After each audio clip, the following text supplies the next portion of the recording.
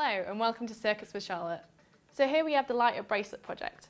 The idea is that this is a chain of LEDs which you wrap around your wrist and you can change the colour and pattern on the LEDs by using an app on your phone. At the heart of this project is an Adafruit Gemma. This is a small microcontroller. So a microcontroller is basically a simplified version of a computer in the sense that it'll run one program over and over again.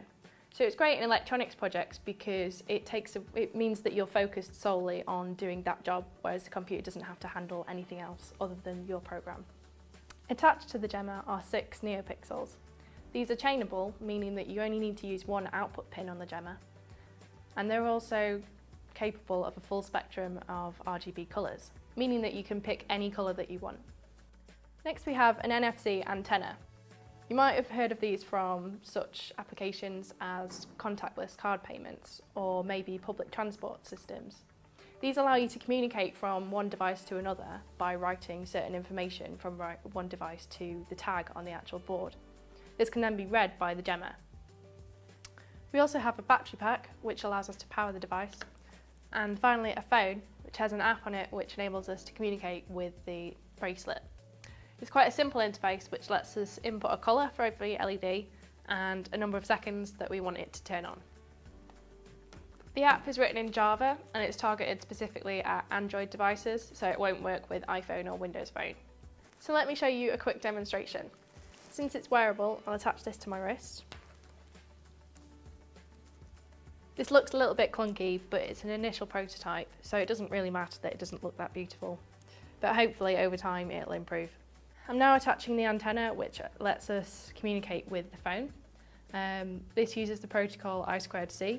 That's a two-wire protocol, so um, it has power, ground, but the two signal wires are like just those two wires.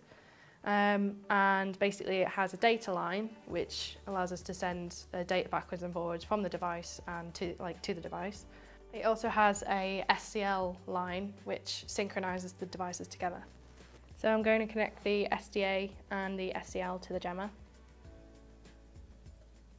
I'm now going to load the app on my phone which allows me to communicate with the device. I'm doing this before turning the Gemma on so that it's got something to read. On the app there's several different buttons which we can click in order to change the colour. And underneath the buttons there's a section where you can put in a number of seconds to turn that LED on. So now I'm going to put the uh, NFC reader against my phone and do and generate the signal.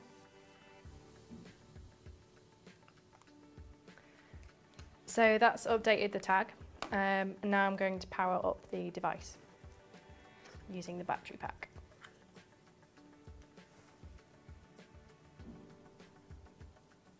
As we can see, the first LED is now flashing red because that's what we programmed in from the phone.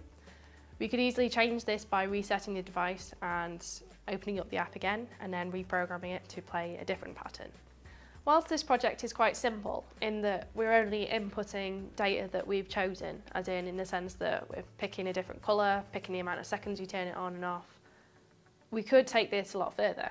For example, you could have the weather data from wherever you are and have it display bright yellow if the sun's out or blue if the clouds are out.